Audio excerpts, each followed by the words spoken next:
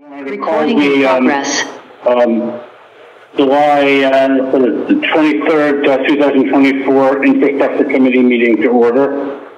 Um, let's see, um, uh, I guess the uh, first order of business is to approve the uh, uh, um, meeting minutes uh, for May 28, 2024. Do I have a motion for that? I move that we accept the minutes. Second? Second. Okay, uh, all in favor? Okay, so the motion passes. Okay. Moving on to the uh, second item, uh, borough project. Can we get an update on the roof reinforcement project? Great, thank you. Uh, So I sent an email out to council this morning outlining where we are with that project. I am happy to report that uh, we've just received a notification this morning that the project is, well, it hit the status of significant completion. And so that's a technical term that uh, our project manager uses with the contractor um, so that uh, they, the maintenance bond then becomes active. So the maintenance bond becomes active as of yesterday, and the maintenance bond is active for one year. So uh, the site is pretty much cleared out with all of the equipment. The contractor will be doing some more cleaning. Um, and there's uh, some painting of some radiator pipes that need to be done by the contractor prior to. What was that? That's happening. Yeah. Oh, it's happening now. Real time uh, uh, data inputs right now. So they are painting the radiator, the replaced radiator pipes as we speak, and we're expecting that uh, they will fully be out of here by the end of this week. Um, I also sent an e- included in that email with council is a hold the date for September 6th. Uh, since we will be meeting here that afternoon for another event, I thought that all of your schedules were probably that was the best day for all of your schedules. So we're going to um, uh, plan a dedication and open public open house for the site at 10 a.m. on September 6th. And if any of council members are interested in looking at the project before we go to full operating, please let me know. I'd be happy to walk you over there and just look at the structure. It's pretty impressive. The library is slowly navigating towards uh, uh, reopening their operations. We need to move a bunch of stuff from the last of the shipping containers out in the parking lot behind 100 Conway.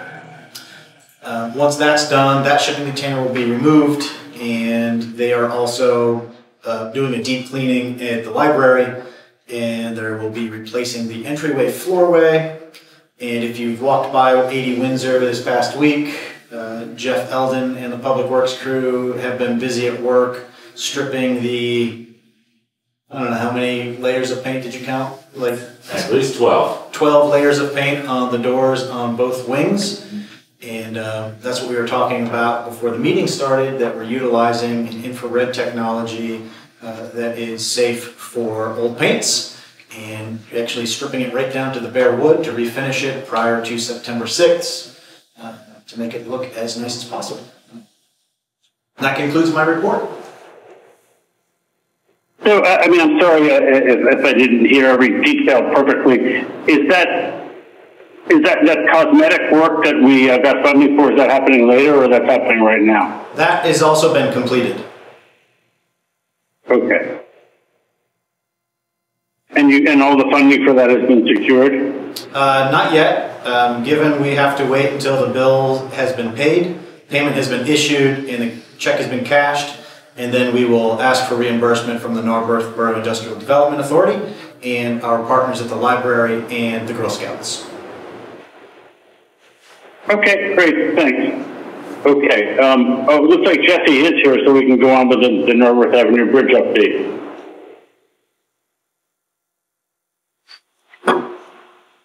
There we go. Trying to get everything working on my end. Greetings, everybody. Uh, hope everybody's doing well. I distributed to Matt last week uh, another update summary. Um, just hit on some of the key points. Uh, I, you know, the main takeaway really is all the dominoes are lined up. Um, and we're starting to give that shove to make everything fall into place. Um, appreciate the council's approval of the Amtrak construction agreement. We are still waiting from Amtrak to send the executed copy of that. we have word from them that once that comes through, uh, they're going to provide sort of the list of next steps to get on their construction schedule, and that's that is the big controlling piece for us. Um, so eagerly anticipating that, we'll keep nudging them to try to receive it. All other pieces are in line or en route to completion. Um, had some back and forth this week actually with PennDOT about approval of the bridge structure. Uh, we think that approval there is imminent. Um, my understanding is we're coordinating some signatures now. Let the council knows as soon as that comes through. Utilities are progressing, um, and we're beginning to prep the other submissions that'll have to go through PennDOT to get this thing advertised. Um, that is my high level update. If anybody has any specific questions, I'd be happy to provide more information. So Matt, did that update go out in the flash or that's going to go out in this week's flash? So we included the general update in last week's flash newsletter and the meeting minutes from our last coordination meeting were included in this meeting's packet.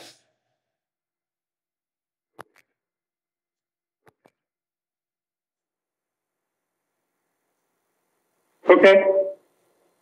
Um, um, that's it. So um, the big thing we're waiting for is this uh, Amtrak to give us the, the list of next steps, right? Is that a good summary? Correct. I think there will be a form that we need to complete. You know, Peter will take care of that, and then we will, I believe, get a new contact person to coordinate getting on Amtrak's schedule.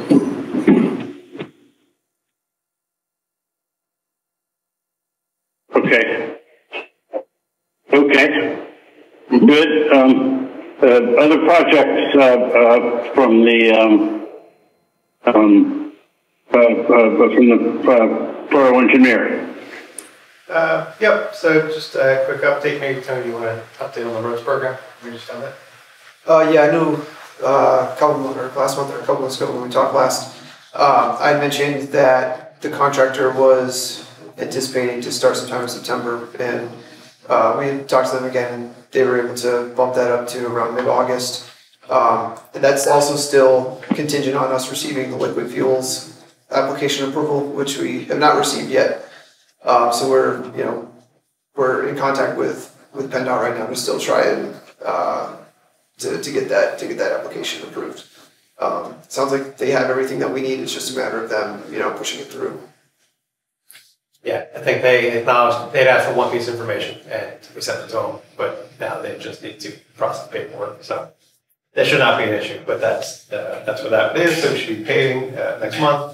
Uh, and then just a, a quick, uh, update on the building HVAC. Uh, about two or so weeks ago, we met borough staff and talked about writing down the last, uh, remaining items. Uh, I did just talk to the contractor called me this morning, I believe, uh, it sounds like he had, there was a serious accident in his family, either his brother or his brother-in-law, but he was getting back into it this morning. We should be, um, re-forwarded all the information and they should be receiving a better schedule information from him, uh, shortly, uh, on, on finishing the last items. So. Uh, other than that. So have we paid, uh, have we paid um, the, the building HVAC contractor or we still have some retainage We there? still, uh, we are still holding some money left on the project. Um, the previous comments were about the, I'm sorry, I'm having a little hard time hearing. The previous comments were about um, the road repaving. Uh, yes, that is, uh, the road repaving as of now is tentatively scheduled for, uh, mid-August, somewhere around the fourteenth. Uh, it's about two days of work. And we are just awaiting on the final approval documentation from PennDOT, uh, for our liquid fuels approval. Okay. And I guess that uh, there'll be a a notification, uh, you know, or signs put up on the street about that? Uh, correct. The contractor is um, two levels. The contractor is required to post a minimum of 24 hours before on the street uh, with signage and notification, but the borough ahead of that generally would also give the, the broader notification of the work.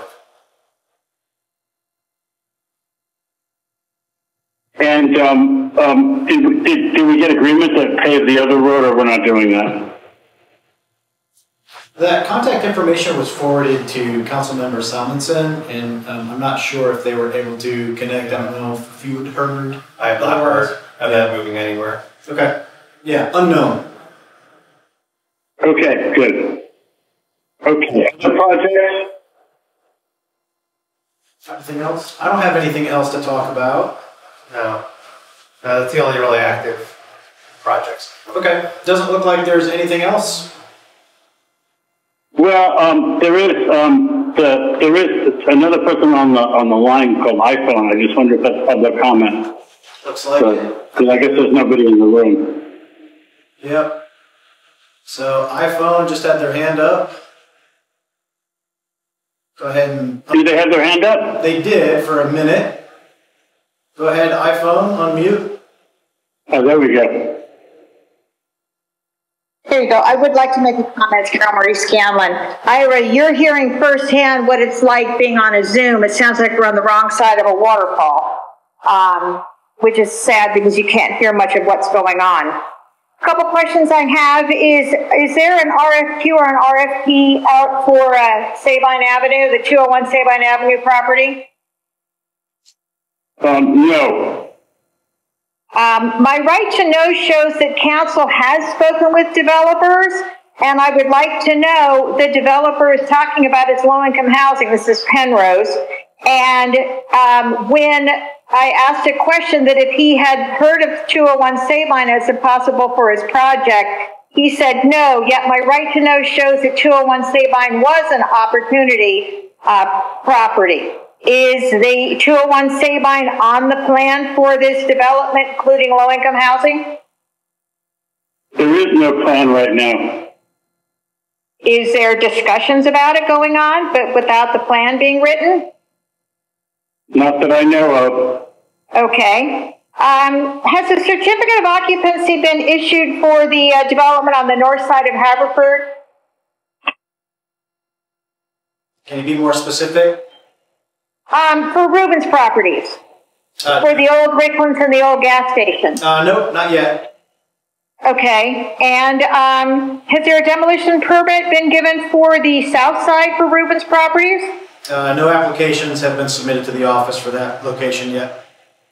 Okay. And then, um, what for the bridge? What is, have we paid everything we need to pay to keep the project moving? Like, has the borough come up with its share? Yes. And what is the full dollar amount that we've had, we pay for that? Half paid or will pay? Uh, both. How about both? I don't have either, which I'm just, I'm just Oh. looking to uh, get an answer. Um, I could probably come up with what we have paid. Um, so remember, right now it is um, current funding is 80% federal, 15% uh, state, and 5% borough. So of all of the costs related to the bridge, that includes all of the design, all of the applications, uh, moving through approval, as well as all of the VSBA architectural renderings. Uh, the borough is on the hook for 5% of those costs, as well as the. And you don't know what that is Not- offhand? Not off the top of my head. Okay. No. All right. And do you also have a number, or could you get a number for what the borough has spent on the bridge project? Yeah, I would have to, um, I don't have that, I don't have those numbers uh, committed to memory, so I would need to, uh, look at our accounting for that. All right, that would be great. And I also sent you an email, Matt, thanking you for getting that light back up at the uh, stairs to the park. Makes a huge difference. It has definitely deterred people from uh, hanging out at the park at night. Now, is there a possibility of getting that second arm put on? Not sure. Jeff Eldon and I were talking about that. That was, the light was reinstalled as a result. Uh, Jeff, feel free to jump in. I believe the utility pole had moved and they had removed a light standard, so we moved it back to where the stairs were. I'm not sure. Is your recollection that there was a second arm? No, there was never a second arm. We've requested that second arm because illuminating the park would definitely deter uh, evening activity at the park. I mean, that's what we feel because kids like to be in the dark, not in the light.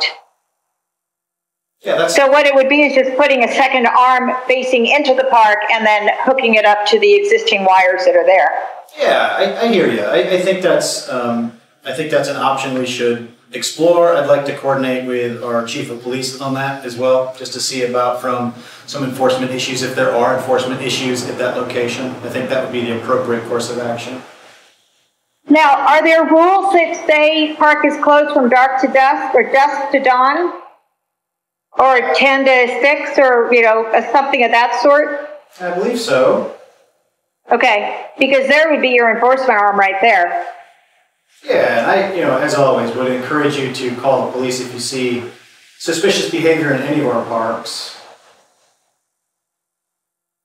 Where our block is very tolerant of kids at the park. It's only when they start uh, uh, cursing like sailors, throwing things around, and becoming disruptive that we call.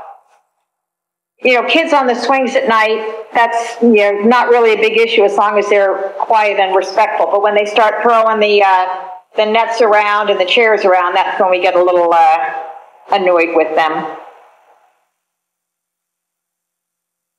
Okay, um, th- thanks, thanks a lot, Carol M- Marie. I hope um, you appreciate that we have uh, a little more time in these infrastructure meetings for some uh, informal Q and A than we do in the council meetings, and so. Well, that is, to Cindy had said, questions. ask my questions at uh, committee meetings. Um, Yep. I don't, I don't understand why council can't answer an easy question, but committee meetings, I appreciate your answer. Yeah, Okay. Okay, um, thanks a lot. Um, and then with that, uh, I'll take a motion to adjourn. So moved. Second?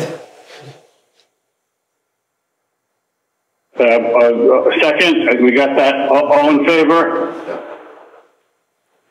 Okay, meeting is adjourned. Thanks a lot, guys. Sorry I wasn't.